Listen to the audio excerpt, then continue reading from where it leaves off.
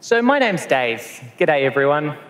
Today, I'm going to talk to you about teamwork and collaboration with 500 students on and off campus.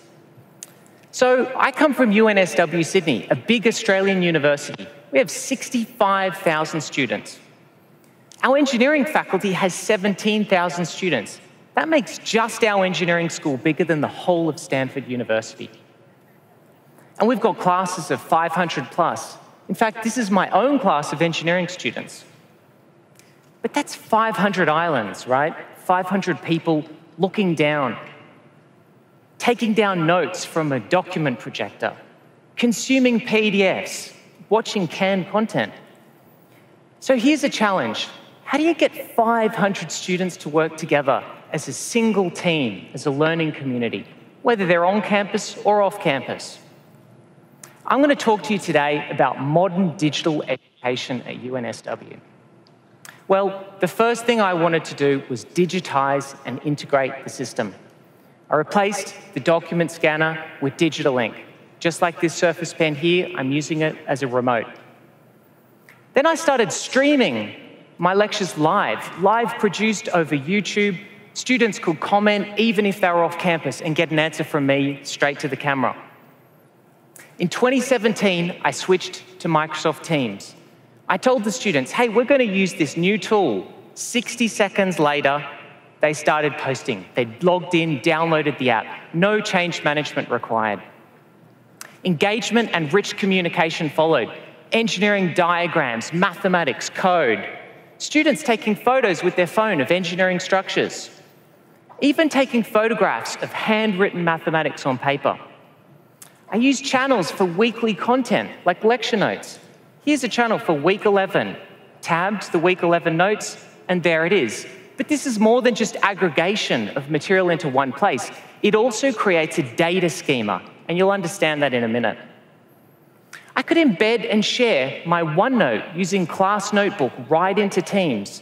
These notebook sections created by the channel, all of this inking done live, just like we are now, but working together and collaboratively. And those 500 students, they all own the notebook. It's being synced in real time. Then Stream launched on Office 365, and I used it instead of YouTube to live stream my videos.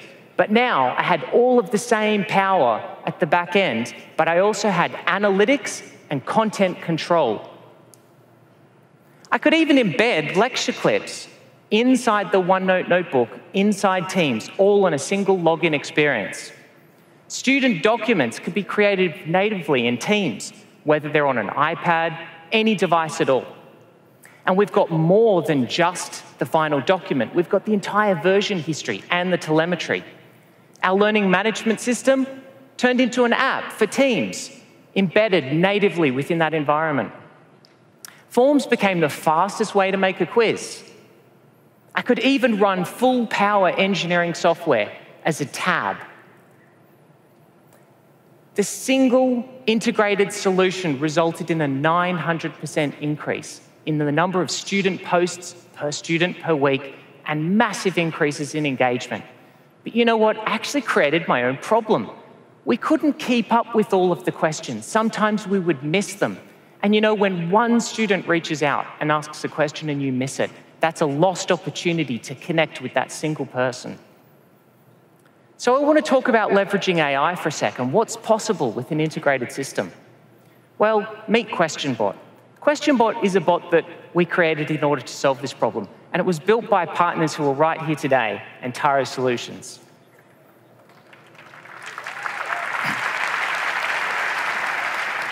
So it's a simple value proposition, right? Students tag the question bot, it looks up which tutorial group they're in, looks up who their TA is, tags it. TA gets a notification on their phone, answers wherever they're at, and QuestionBot closes the service ticket by being told what the correct answer was. So it's actually keeping track of question and answer pairs. It's helping everyone connect, and every Q&A pair is there inside the specific topic. And of course, today, if it doesn't work on mobile, it doesn't work. So QuestionBot is actually creating a study resource for the students, filtered by topic. It's not a textbook, it's made out of their own collaboration, their own discussions automatically. In fact, in the first two weeks alone, QuestionBot created 200 high quality topic filtered question and answer pairs. Now imagine six times that. So I used QnA Maker, a cognitive service on Azure, in order to train the AI of the bot. And within a couple of weeks, it started answering questions on its own. But not just that, QuestionBot was also able to direct the students back to the conversations where their peers had been talking about similar problems. That's reconnecting people and building learning communities. So there's another problem. A lot of students would upload photos for their questions. And there's no context within the question that they've asked to build a high quality question and answer pair. So I started putting QR codes on all of the learning material. And using a vision cognitive service, QuestionBot was able to see what question the students were working on and say, hey, I see you're working on question 4.1. Pull relevant information from its own knowledge base, deliver more useful assets to the students. And remember those lecture recordings that were on stream? Well, it's a SharePoint asset. And QuestionBot could find it there with no configuration. It's able to search the transcript, and if the answer to a student's question happens to be in the lecture, it can deliver a time-stamped video link to the exact second.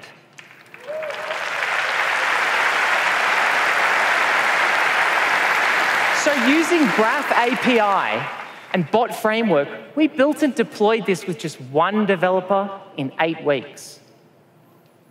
You know, the fire hose of conversation turned from a problem into a digital asset for us and the students. So, lastly, I want to talk about closing the loop. We've leveraged this value that we have. We've leveraged all of these digital assets and we've integrated our solution. how can we turn all of that data into new material? In fact, by integrating all of these systems, I have very highly structured data on SQL.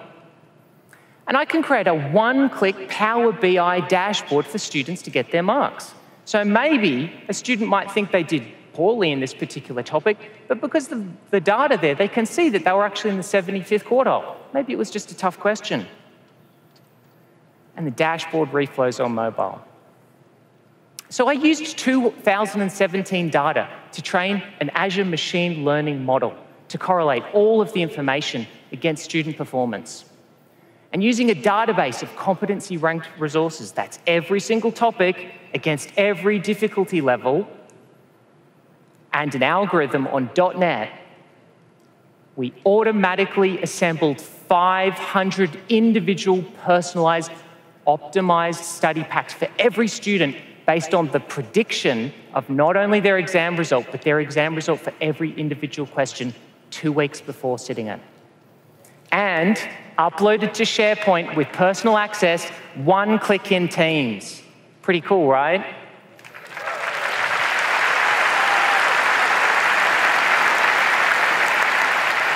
So we've built a learning community, right? 500 students, they're working together.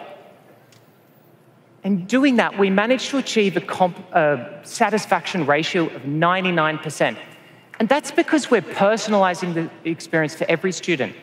We're actually able to identify at risk students by week four of the course when they could still drop it, when it still matters. I reach out personally to every one of those at risk students and say, hey, how can I help? And what about that challenge? 500 students working together as a team well, I asked them, Do you feel part of a learning community? 100.0 said yes. But you know the most valuable thing in that room? It's the people. Every student has got 499 other brilliant young people there to collaborate with, to work together, to create new material, their own course, creating rather than consuming. But you know what's really interesting is this thing, artificial intelligence, that we think of as being inhuman.